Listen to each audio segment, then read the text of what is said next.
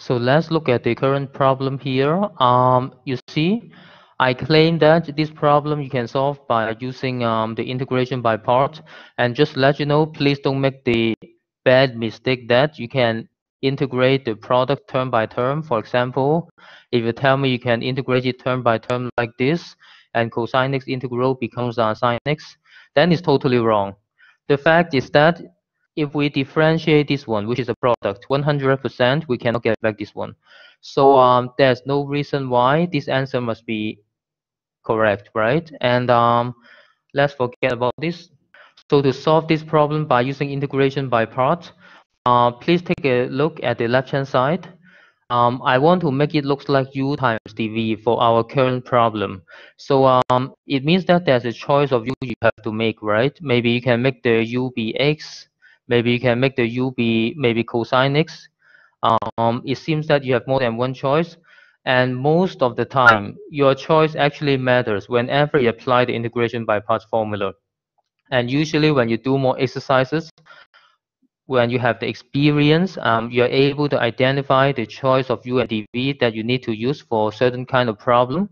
And for this case, I claim that the u is x dv is the remaining term and we can write it down as follow. U is x and dv is cosine x times dx and now you see what you need to do is you have to write down du because please look at the right hand side.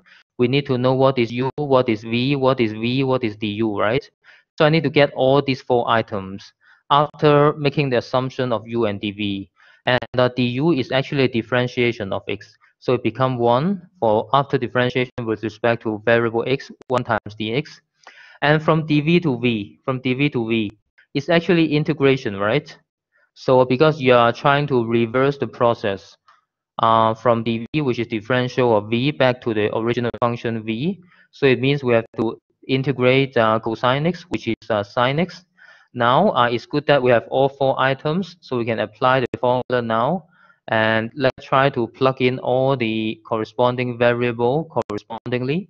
So uh, u is x and v is sine x and v actually here is uh, sine x again and du is actually uh, 1 times dx which is dx. Now uh, please take a look at the current formula. So you see uh, I claim that um, the method of integration by part is so helpful in this problem because originally we don't know how to integrate this problem. But after applying the integration by part one time, we get the second term on the right-hand side an easier integral than the original problem, right? Because uh, everybody knows how to integrate sine x. Um, so I write the answer down. The answer is x times sine x and uh, minus open bracket minus cosine x close bracket. Of course at the end you can add the constant c to represent your answer in that way.